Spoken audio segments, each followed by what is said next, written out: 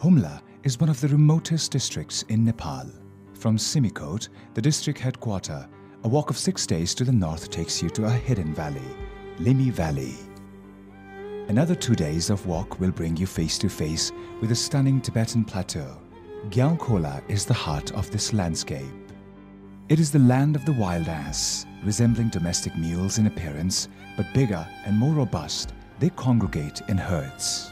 The Trans-Himalayan grasslands of Upper Humla maintain the largest population of wild ass in Nepal. It is the playground of marmots. The innocent display of young Himalayan marmots is a delight to the observer.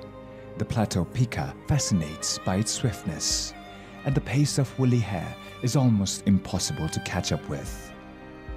A small population of the rare Tibetan gazelle and argali exists in Chakpolung at 4,950 meters.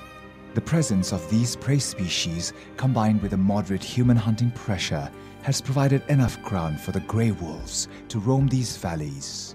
Critically endangered in Nepal, the grey wolf can be observed here.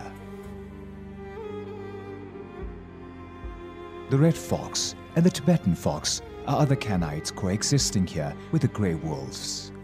The wild yak has been suspected to be regionally extinct from Nepal. They still roam in the remote locations of Upper Humla, but human hunting pressure has led them to be extremely shy. The blue sheep, however, are less wary of humans. If you're lucky, you get a close-up view of their daily activities. This leaves the iconic snow leopards with plenty of its primary prey to devour here, but these majestic animals keep themselves well hidden from the observer. The local economy of the region rests in livestock herding. The herders shift their herds from one pasture to another seasonally.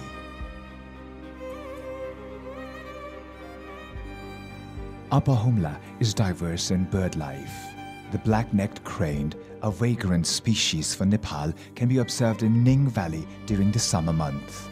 Bearded vultures, Himalayan griffons, and golden eagle delight with spectacular flight acrobatics.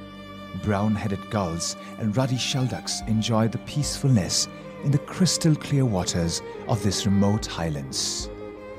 With the monsoon rains, the landscape becomes beautifully adorned by many species of wildflowers.